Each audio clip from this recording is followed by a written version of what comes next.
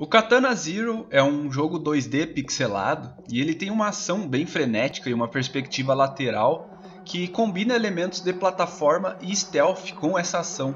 O player controla um samurai em um mundo que vive um trauma de uma guerra que aconteceu anos atrás, e nessa guerra foi utilizada uma substância estranha em alguns soldados tornando eles especiais ou superiores em relação aos seres humanos normais. E essa substância é basicamente uma droga que deixa os seus usuários dependentes dela, além de receber um certo poder sobrenatural.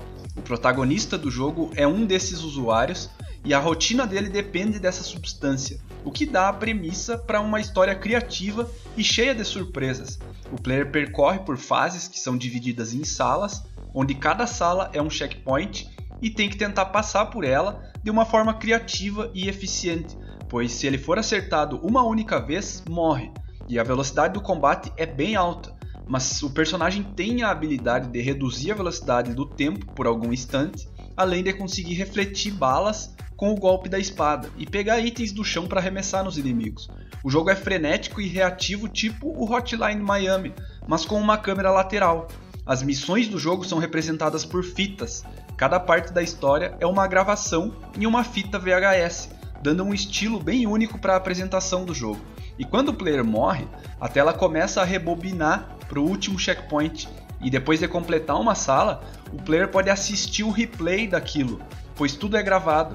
E tudo isso combinado com um design impecável dos personagens e uma arte pixelada de primeira linha, além de uma katana sensacional que tem golpes muito bem animados, o Katana Zero tem como um dos seus principais pontos positivos o estilo e a personalidade do seu visual. Além das habilidades que eu citei, o personagem também tem um dash para desviar de projéteis e atravessar obstáculos como lasers. Algumas salas têm um certo elemento de puzzle, de o player precisar desligar alguma coisa aqui e fazer a volta por ali, mas nada muito complicado. A estratégia se resume em derrotar os inimigos da forma mais segura possível, pois com o tempo a coisa começa a ficar bem complicada e o jogo bem difícil.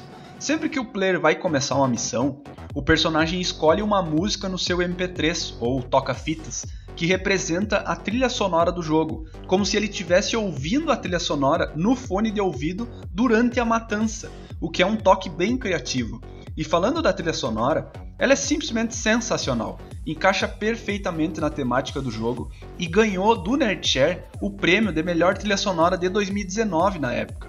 No intervalo das missões do jogo, tem os desenrolares do dia a dia do personagem, como por exemplo, se encontrar toda manhã com o seu psicólogo no consultório dele, onde o player pode conversar sobre os traumas e seus assassinatos da noite anterior, e ele mesmo passa qual é a próxima missão.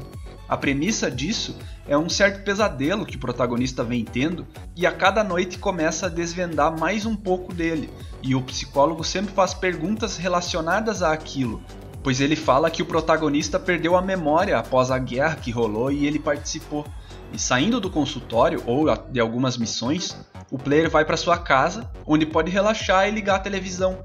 E na televisão tá sempre passando o noticiário que está comentando algum assassinato que rolou e que foi causado pela missão que o player tava, o que é um, uma coisa bem legal. O jogo introduz todos esses pequenos elementos para ter uma progressão muito satisfatória da narrativa envolvendo o player, além de diálogos sensacionais, dando muita vida a um jogo que podia ser simplesmente cenas de ação sem sentido.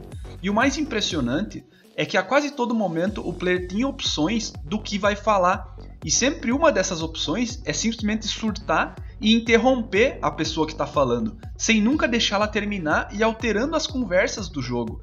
E apesar do arco geral ser segmentado, existem sim consequências ao que o player escolhe, e também como as missões vão desenrolar, baseado, por exemplo, no quanto o personagem foi obediente às instruções que recebeu e o que ele falou ou deixou de falar. O jogo tem até mais de um final por conta disso. Para um título indie de ação frenética, eu não esperava tamanha profundidade na narrativa, algo que foi muito satisfatório de desenrolar. E o humor que o jogo apresenta em certos momentos é muito bom, e o horror nos momentos de tensão, com membros sendo arrancados e pessoas sofrendo, também é representado de uma maneira muito impressionante.